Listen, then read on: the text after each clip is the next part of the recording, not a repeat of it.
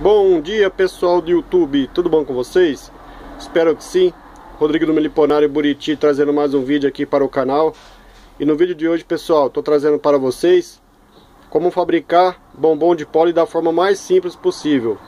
Aqui eu vou estar tá mostrando aí, pessoal, um tutorial, um passo a passo, como que eu faço meus bombom de pólen.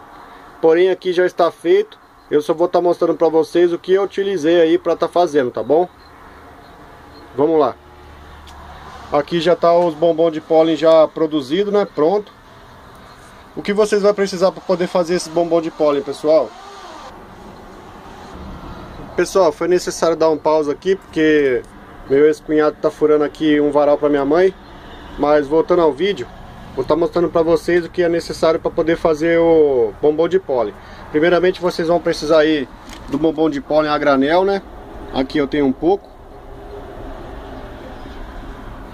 Vocês vão estar tá precisando aí, no caso, que nem eu aqui, pessoal, não gosto de estar tá utilizando fogão, porque aqui em casa dá muita briga. Então, eu preparei esse fogãozinho aqui, coloco álcool de posto, né?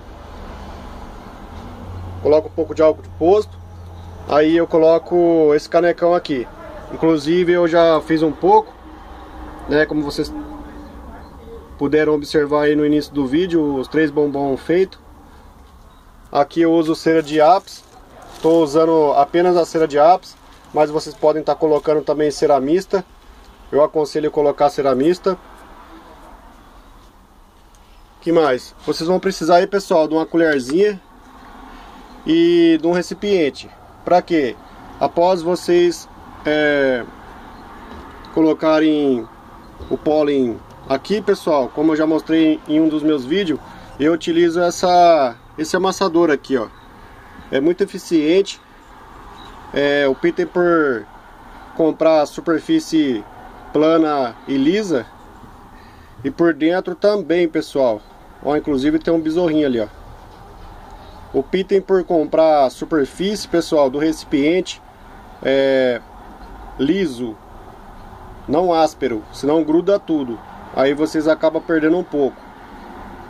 É, Após vocês utilizarem esse recipiente aqui para fabricação do pólen, não utiliza para outra coisa, porque pode ser que deixe a superfície áspera, tá bom? Então usa só para pólen mesmo, para fabricação de bombom. No caso esse daqui, ó, eu paguei R$14,90.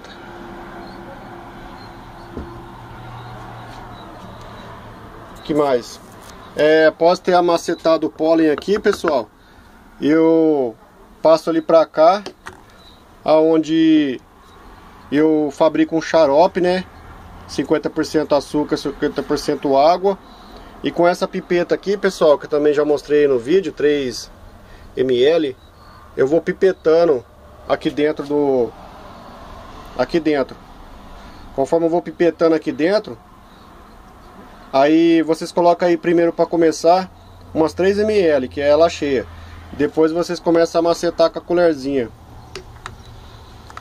Aí vocês vão ver aí, conforme for macetando, a medida ideal. Quando ela já estiver bem plastosa, é a hora que vocês podem já estar tá formando aí o bombom de pólen. Passa para a mão e dá o formato que vocês querem. Após isso é só jogar dentro do canecão, né pessoal? Depois de ter fervido a cera, derretido ela. E aí eu vou estar tá mostrando para vocês o que eu utilizo para estar tá fazendo isso, só um momento. Tá vendo aqui, pessoal, ó, eu tenho esses ganchinhos aqui, ó.